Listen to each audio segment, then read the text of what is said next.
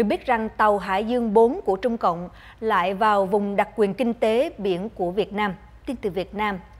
Trang Đại sự ký Biển Đông ngày 15 tháng 6 năm 2020 loan tin, hiện nay thì tàu Hải Dương 4 của Trung Cộng đang ở trong vùng đặc quyền kinh tế và thềm lục địa của Việt Nam, cách đảo Phú Quý 182 hải lý. Con tàu này đang có dấu hiệu đi sâu hơn nữa vào lãnh hải của Việt Nam với tốc độ khá chậm vào khoảng 2.4 hải lý. Trước đó vào ngày 10 tháng 6, tàu Hải Dương 4 đã xuất phát từ tỉnh Quảng Đông của Trung Cộng. Đến ngày 13 tháng 6 thì nó xuất hiện ở phía đông đá chữ thập thuộc quần đảo Trường Sa của Việt Nam. Theo trang Đại sử ký Biển Đông, giống như năm 2019, khi Hải Dương 4 đi khảo sát ở vùng trồng lấn thêm lục địa giữa Việt Nam và Malaysia, thì bản đồ AIS đã không thấy sự hiện diện của các tàu hải cảnh đi cùng. Tuy nhiên, có những lúc thì hệ thống nhận dạng tự động AIS vẫn nhìn thấy những tàu neo đậu cùng với tàu dân quân biển Trung Cộng ở cạnh Hải Dương 4. Hiện nay thì người dân Việt Nam vẫn chưa biết được mục đích của tàu Hải Dương 4 khi xâm phạm vào lãnh hải Việt Nam này là gì. Trước hành vi xâm phạm tàu của Trung Cộng trái phép vào vùng lãnh hải thuộc chủ quyền của Việt Nam thì vẫn chưa thấy nhà cầm quyền Cộng sản Việt Nam lên tiếng, kính thưa quý vị. Và phi công đã bị đình chỉ sau khi phi cơ Vietjet trượt khỏi phi đạo. Đây là tin từ Hà Nội, Việt Nam. Vào hôm thứ Hai, ngày 15 tháng 6, thông tấn xã của nhà cầm quyền Cộng sản Việt Nam đưa tin, Cơ quan Hàng không Dân dụng Việt Nam đã thu giữ giấy phép của hai phi công ngoại quốc vì chiếc phi cơ chở hành khách do hai phi công này điều khiển đã bị trượt khỏi phi đạo khi hạ cánh xuống Sài Gòn. Hãng hàng không Vietjet Airlines cho biết chiếc phi cơ trên của hãng này xuất phát từ đảo Phú Quốc và trượt khỏi phi đạo tại phi trường Tân Sơn Nhất vào Chủ nhật vừa qua do mưa lớn và gió giật. Hãng Vietjet Air cho hay phi cơ, hành khách và phi hành đoàn đều an toàn. Phương tiện truyền thông địa phương đưa tin rằng hôm Chủ nhật ngày 14 tháng 6, phi trường Tân Sơn Nhất đã đóng cửa một thời gian ngắn do sự việc trên và cho biết thêm rằng phi cơ xảy ra sự việc là chiếc Airbus A321. Và được biết rằng phóng viên không biên giới đã lên án Việt Nam bắt giam nhà báo độc lập Lê Hữu Minh Tuấn. Đây là tin từ Bangkok. Vào ngày 15 tháng 6, Tổ chức Phóng viên Không Biên Giới còn được viết tắt là RSF đã ra thông báo báo chí lên án việc nhà cầm quyền Cộng sản Việt Nam bắt giữ ông Lê Hữu Minh Tuấn là thành viên của Hội Nhà báo độc lập Việt Nam. Ông Lê Hữu Minh Tuấn với bút danh Lê Tuấn trong nhiều bài báo đăng trên website của hội bị bắt ở quê nhà Quảng Nam hôm ngày 12 tháng 6 và đưa về giam tại Khám Chí Hòa, Sài Gòn sau nhiều tháng bị sách nhiễu và đe dọa. Trước đó trong tháng 5, An ninh Cộng sản Việt Nam đã bắt giữ ông Nguyễn Tường Thụy là Phó Chủ tịch Hội Nhà báo độc lập Việt Nam chỉ 6 tháng sau khi bắt giữ Chủ tịch Phạm Chí Dũng. Ông Lê Hữu Minh Tuấn với bút danh Lê Tuấn trong nhiều bài báo đăng trên website của hội bị bắt ở quê nhà Quảng Nam hôm 12 tháng 6 Kính thưa quý vị, cùng bị cáo buộc tuyên truyền chống nhà nước theo Điều 117 của Bộ Luật Hình sự, ba ông, ông Dũng, ông Thụy và ông Tuấn sẽ đối mặt với án tù là 12 năm.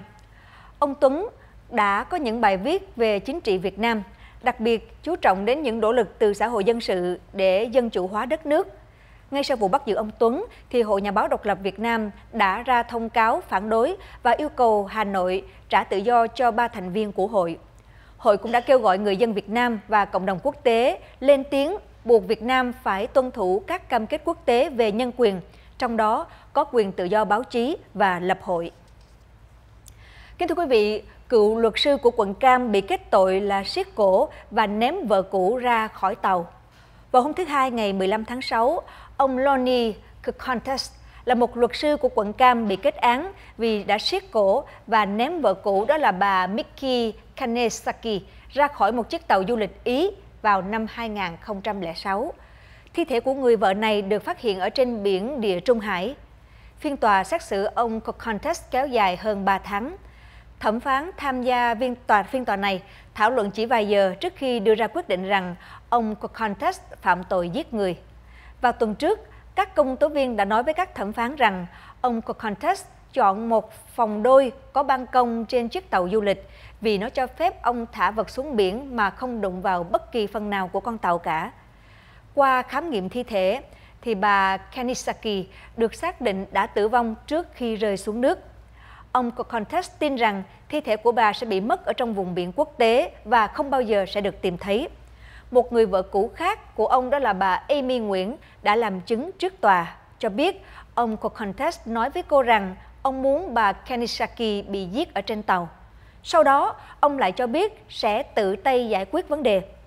Bà Amy Nguyễn cho biết thêm, bà Kenisaki có bằng chứng về việc ông Contest biển thủ tiền từ một khách hàng. Theo dự kiến, ông Contest sẽ bị tuyên án vào ngày 18 tháng 9 sắp tới và đối mặt với án tù chung thân mà không có khả năng được khoan hồng. Kính thưa quý vị, một cảnh sát người Mỹ gốc Việt hội ngộ với người cha thất lạc chờ nhờ xét nghiệm vào DNA. Ông Andrew Nguyễn hiện nay là một cảnh sát tại thành phố Palm Beach, tiểu bang Florida. Ông sinh ra tại Sài Gòn năm 1972 với bệnh tim bẩm sinh. Cha của ông là một binh sĩ Hoa Kỳ, mẹ là người Việt Nam. Họ gặp nhau trong cuộc chiến tranh Việt Nam và cho ông trở về Hoa Kỳ sau khi hoàn thành nhiệm vụ. Hôm ngày 10 tháng 5 năm 2020, ông may mắn được gặp lại cha đó là ông Michael Strange đúng 10 ngày trước khi tham gia vào cuộc phẫu thuật tim. Sự việc trên xảy ra đúng như là một phép màu đối với ông Andrew Nguyễn. Theo tờ Task and Purpose đưa tin, anh Matthew Nguyễn, con trai của ông, luôn muốn tìm hiểu về ông nội thất lạc bấy lâu, nhưng chỉ biết ông là một người Mỹ. Sau nhiều lần hỏi thăm thông tin từ bà nội, anh mới biết được tên ông nội của anh. Sau đó, vào ngày sinh nhật ông Andrew Nguyễn, anh Matthew đưa bộ xét nghiệm DNA cho ông để kiểm tra. Mặc dù từ chối nhiều lần nhưng ông đã đồng ý. Nhờ vào kết quả xét nghiệm DNA, họ có được thông tin của ông Michael Strand từ một người dòng họ. Anh Matthew đã gọi cho ông Michael. Cuộc gọi kéo dài 10 phút. Ban đầu có chút bối rối, nhưng sau đó đã trở nên rất cảm động và vui vẻ. Họ còn sắp xếp một cuộc gọi video qua ứng dụng Zoom để trò chuyện trong suốt 2 tiếng đồng hồ sau bao năm xa cách. Kính thưa quý vị, xét nghiệm COVID-19 hoàn toàn miễn phí tại quận Santa Clara, California. Theo bản thông cáo báo chí vừa được gửi ra từ quận Santa Clara, tiểu bang California, thì chương trình xét nghiệm COVID-19 được bắt đầu từ thứ Ba ngày 16 tháng 6, kéo dài đến thứ Bảy ngày 20 tháng 6. Chương trình xét nghiệm COVID-19 hoàn toàn miễn phí bất kể tình trạng di trú hay là bảo hiểm sức khỏe và không cần giấy giới thiệu của bác sĩ. Với các địa điểm lưu động, quý vị không cần phải đặt hẹn. Để biết thêm thông tin về các địa điểm xét nghiệm COVID-19 cộng đồng của những cộng đồng khác, xin vui lòng truy cập trên trang mạng www.sccfreetest.org/viet hoặc là gọi số 211 để có thể biết thêm thông tin. Thưa quý vị, Việt Nam tụt hạng trong bảng chỉ số an toàn của thế giới của Viện Kinh tế và Hòa bình. Tính đến từ Đài Hoa.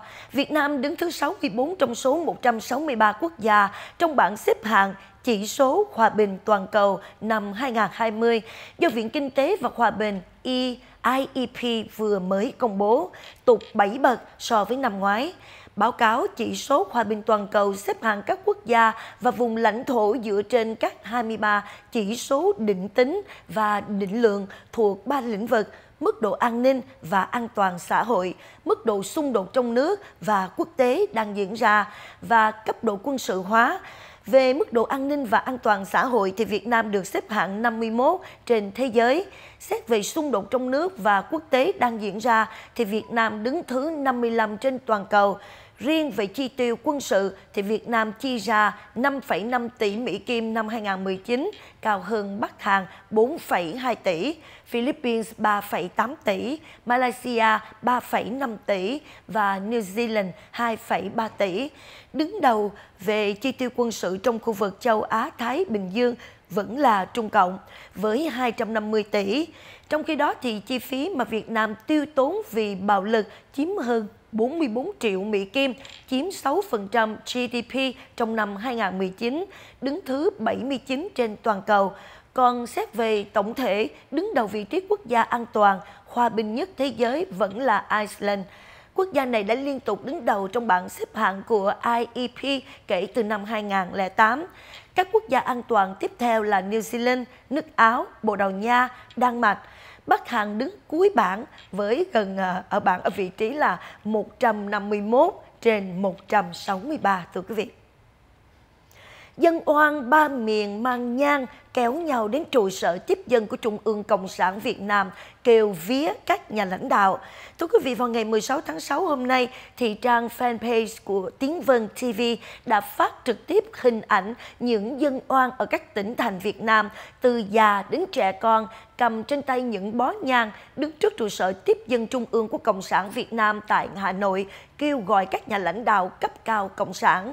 Trong đoạn video, thì một phụ nữ đang hô lớn, ba hồn bảy vía ông Nguyễn Phú Trọng, Tổng Bí thư kiêm Chủ tịch nước ông Nguyễn Xuân Phúc là Thủ tướng Chính phủ, bà Kim Ngân là Chủ tịch Quốc hội Cộng sản và ông Nguyễn Hồng Điệp là trưởng ban tiếp dân Trung ương Cộng sản. Sau đó thì những người dân oan đã cắm nhang vào cánh cổng trụ sở tiếp dân đang đóng im ỉm, rồi đặt biểu ngữ kêu oan xuống và quỳ lại. Một phụ nữ trong clip nói rằng ba thế hệ nhà chị đều đang ở trước cổng tiếp dân vì bị nhà cầm quyền dồn đến đường cùng, khó sống tiếp, cho nên họ đã kéo nhau lên đây để kêu oan.